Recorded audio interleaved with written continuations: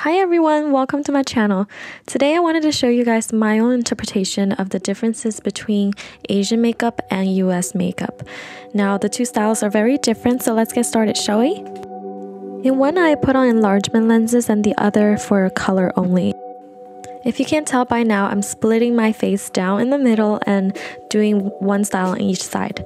As for face, I'm using a BB cream for a softer glowy look. I noticed that for a lot of Asian makeup, they focus mainly on brightness and glowiness and dewiness of the skin, and definitely the foundation looks very clean and there's no sign of wearing foundation. So here I'm doing my best to try to make my skin look dewy and healthy and glowy. For the US makeup side, I'm using Revlon Color Stay Foundation. We all know it's a very thick foundation and has full coverage. I'm gonna make sure for this side I cover everything up very well and also use a powder to set everything so that I have a matte finish. As for contour and highlight, the US style has a lot more definition compared to the Asian makeup. And here you can see I'm using a very pigmented bronzer and later I'm going to use a very brightening highlight. It's very clear that this side has a lot more definition and contrast compared to the other. And just a disclaimer again, this is definitely my own interpretation and my own opinion on the two styles.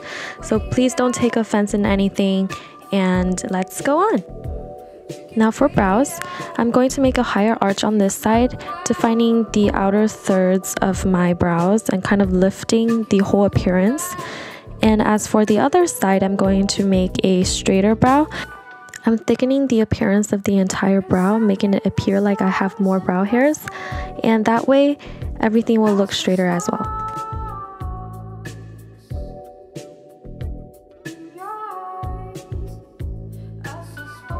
I think you can better see the difference between the two sides here. One side is very arched and defined, and the other side is straighter and thicker.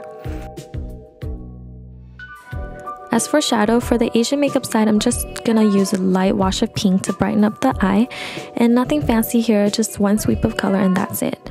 And for the other side, I'm going to use this Tarte waterproof liner in gold to first define a shape that I want to contour out. And then I'm just going to go in with a dark brown shadow to define the outer and inner corners as well as the lower lash line. Then in the center of my lid, I'm going to use this gold shade to further brighten and make that center portion pop.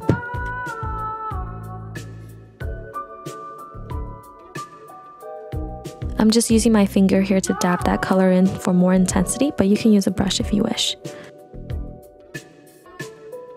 Now for liner, I'm going to tight line this side and also pulling down the outer corner making it have a more puppy dog appearance, very cute looking, and also very enlarging.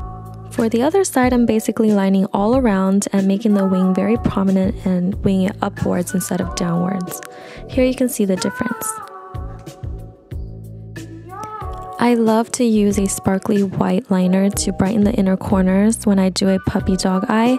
And for the other side, I'm barely highlighting at all because I don't want to take away from the smokiness. And also another trick that I do is I use a taupey brown shadow to contour the back area to make my eyes look a little more droopy and doll-like.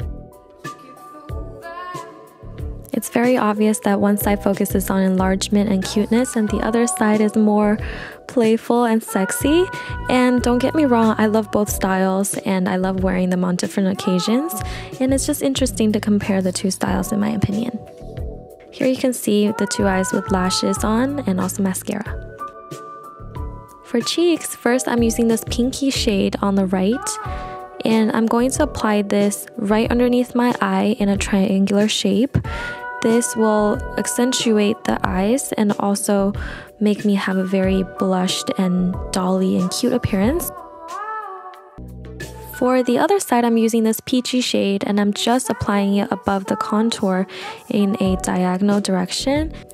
This, in my opinion, gives a more chiseled and lifted look compared to the other side.